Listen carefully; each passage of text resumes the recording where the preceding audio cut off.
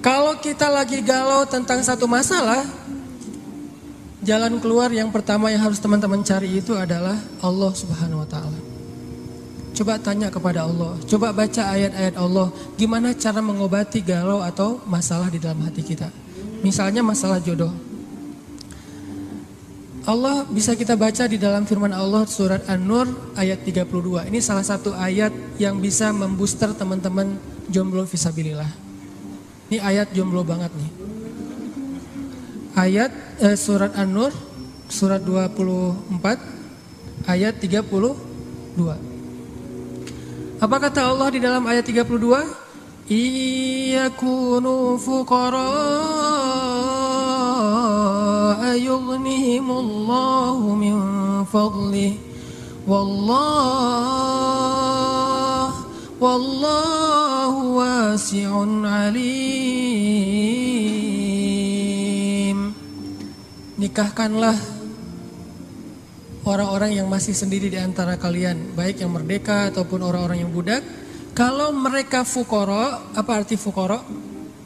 Fakir. Gak punya apa-apa Yughnihimullahu min fadli.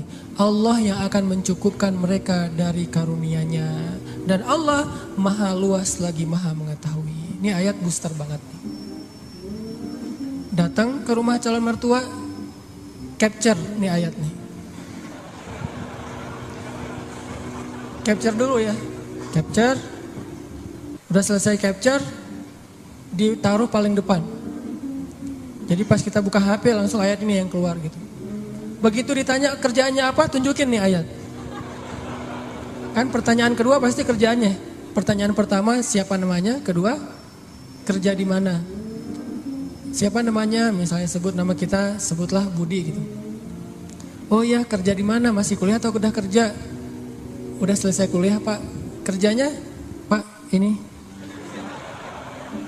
Apa ini? Kalau mereka fakir, Allah yang akan mengayakan mereka. Hah? Ngeri juga udah pakai-pakai ayat ya. Dan Allah maha luas lagi maha mengetahui pak. Itu juga saya dengarnya dari Ustadz gitu ya. Oh benar juga nih ayatnya. Terus gimana anak saya dikasih makan apa? Allah yang kasih makan bukan saya. Anak bapak dan saya, bapak semua kita nih pemakan rezeki bukan pemberi rezeki. Nggak ada satupun kan di antara kita pemberi rezeki. Semua kita ini pemakan rezeki. Pemberi rezekinya Allah. Dan ini ayat modal saya banget untuk nembak si dia. Kan saya dulu nikahnya nikah ngutang. Maharnya aja ngutang ke sebelah. Tapi bilang ngutangnya jangan pas awal. Nanti aja kalau udah deal baru ngutang. Udah setuju nih, eh kita nikah ujung-ujungnya, eh boleh utang dulu. Ternyata Allah mudahkan setelah itu. Justru setelah saya nikah tuh kan dulu saya kerja nggak jelas ya. Memang nggak punya kerja sih, bukan nggak jelas. Nikah tuh nggak punya kerja, nggak punya uh, simpanan apa pun, nggak punya bekal. Pokoknya uh, modalnya modal surat An-Nur ayat 32. Itu modalnya, catat tuh. Kalau perlu jadikan status Justru setelah menikah saya ngebuktiin sendiri gimana Allah maha menunaikan janjinya. Allah nggak pernah ingkar janji. Kalau kita fukoro, saya emang dulu fukoro. Gimana fukoro? Nggak tahu mau makan apa hari ini juga. Namanya mahasiswa di luar negeri.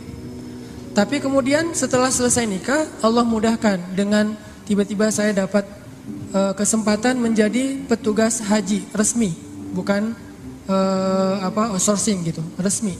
Petugas haji resmi dari depan selama satu bulan musim haji dan itu